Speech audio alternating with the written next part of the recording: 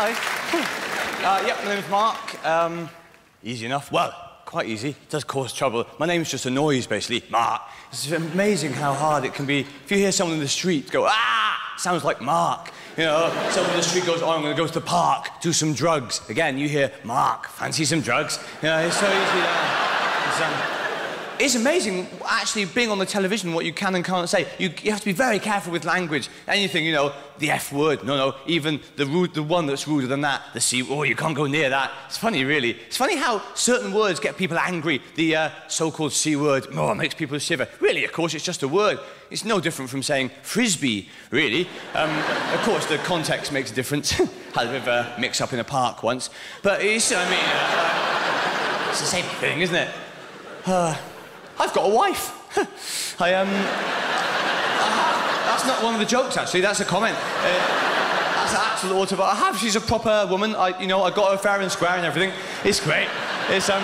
The only thing is when you're sort of a person who you feel a bit lucky. I feel a bit lucky to have got a wife, and um, oh, this is going to sound really sentimental, but I don't want her to die or anything.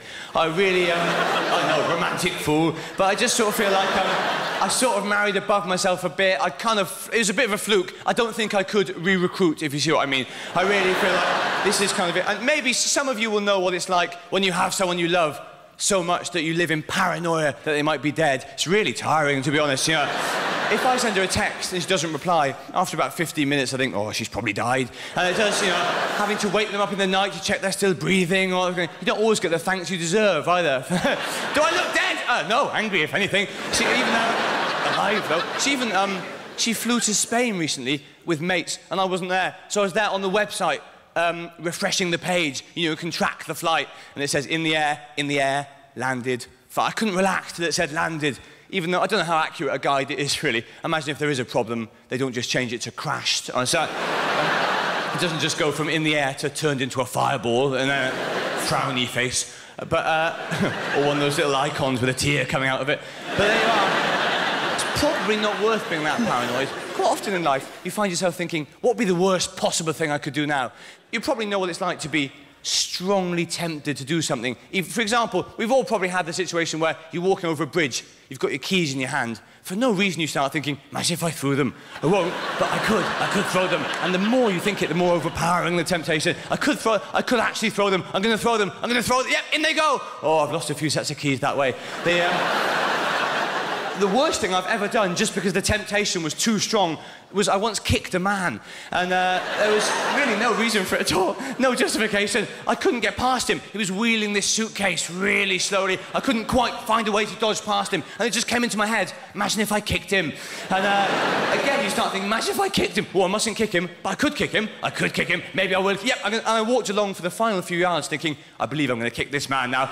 And, uh, and in the end, I just kicked the bugger quite hard in the back of the leg. And as I was doing it, I remember thinking, what else could I have done, really? Uh, the guy swung round. He looked pretty annoyed, really. All I could think of to say was, I've kicked you, which, uh, not an excuse, really, more just a summary of the events. uh, that's another thing you do when you're a comedian.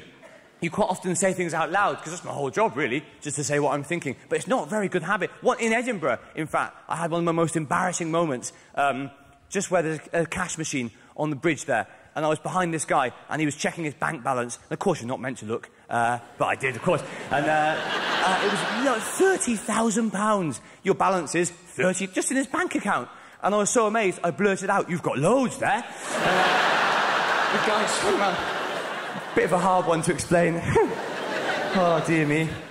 Well, uh, it's quite, it's gone sort of quite well, really. You certainly, it's gone fairly well, I think. I mean, a lot of people wouldn't fancy doing this at all. A lot of people think it's brave. Even people always say that, oh, you're so brave. And in fact, I'm not. I'm the least tough uh, member of my family.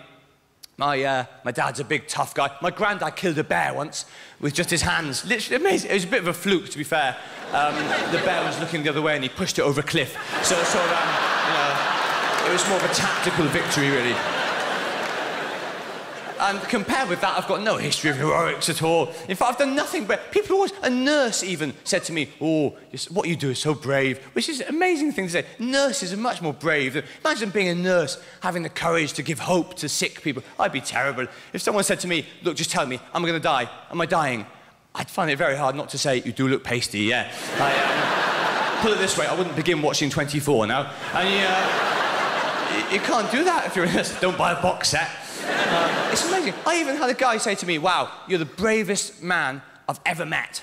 Right, it was incredible. And this guy himself was a bungee jumper, it turned out. And he had bungee jumped for charity, naked, um, off South Pier in Blackpool. I think?